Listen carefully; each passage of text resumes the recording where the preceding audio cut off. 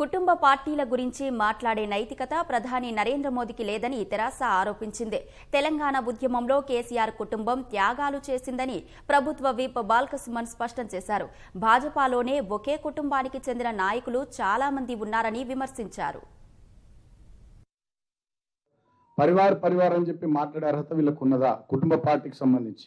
కేంద్రంలో మంత్రులుగా రాష్ట్రంలో మంత్రులుగా ముఖ్యమంత్రులుగా పనిచేసినటువంటి వ్యక్తుల పిల్లల వల్ల కేంద్ర ప్రభుత్వంలో చాలామంది ఉన్నారు.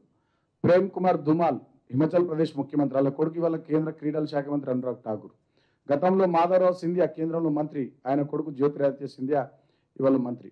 మేనకా గాంధీ గారు మంత్రి వారి కొడుకు వరుణ్ గాంధీ ఎంపీ. కిరణ్ రిజిజు గారు దేవేంద్ర ఫడ్నవీస్ గారు పంకజ్ సింగ్ గారు రీటా బాహుగుణ జోషి దుష్యంత్ సింగ్ గారు. ఇట్లా చెప్పుకుంటూ పోతే చాలామంది పంకజ్ ముండే గారు ఉన్నారు పూనం మహాజన్ గారు ఉన్నారు. చాలామంది కేంద్ర ప్రభుత్వంలో కానీ రాష్ట్ర స్థాయిలో ఎమ్మెల్యేలుగా కానీ రాష్ట్రాల్లో మంత్రులుగా కానీ ఎంపీలుగా కానీ భారతీయ జనతా పార్టీలకు సంబంధించినటువంటి వివిధ స్థాయిల్లో పనిచేసినటువంటి వాళ్ళ పిల్లలు ఉన్నారు.